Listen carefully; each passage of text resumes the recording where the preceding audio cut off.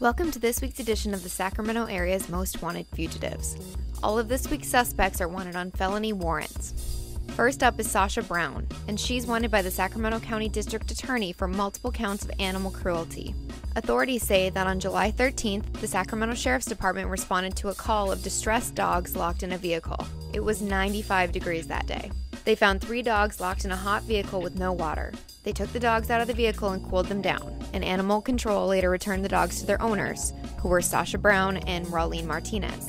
Then, a week later on July 20th, someone called Animal Control to report dogs chained up to a vehicle. Animal Control responded the next day, which was July 21st, and found three dogs locked in a vehicle. All the dogs were chained and secured in the vehicle in a way that didn't allow them to move, and none of the dogs had water. Animal Control removed the dogs from the vehicle, one of which had significant injuries to its neck from the chain, and all three of the dogs were confiscated. Raulene Martinez, the other owner of the dogs, has been arrested on this case, but authorities are still looking for Sasha Brown. Brown's last known residence was in the area of Little Rock Drive and Black Bear Drive in Antelope, California. She's driving a gray Acura with license plate number 4NLZ439. Next, we have an unknown suspect. He's wanted by Sacramento police for robbery. Police say that on October 11th at about 9:11 p.m., the suspect walked into the Econo Lodge on Northgate Boulevard and laid money on the counter. He left the business a minute later. The suspect returned to the business at about 9:15 p.m. with a black handgun and demanded cash as he pointed the handgun at an employee. The suspect took money from the cash register and left at about 9:16 p.m.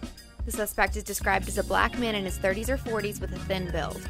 He was wearing a dark colored baseball cap, a white and green plaid long sleeve shirt, black pants, and dark colored shoes. Next, we have another unidentified suspect, and he's wanted by Sacramento police for robbery. Police say that on August 30th at about 8:37 p.m., the victim met up with the suspect in Sacramento. The two were old high school friends. When he arrived, the victim was robbed at gunpoint by the suspect and his associates, who are described as a group of 6 to 8 black and Hispanic men. The suspects took various things from the victim, including his vehicle. All of the suspects fled the scene, and officers stopped the suspect's vehicle shortly after and detained three of the suspects.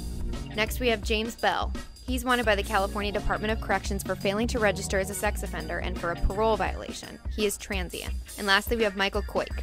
He's also wanted by the California Department of Corrections for failing to register as a sex offender and for a parole violation. He's also transient. If you have any information about any of these people, please call 800 222 7463 or report online at crimealert.org.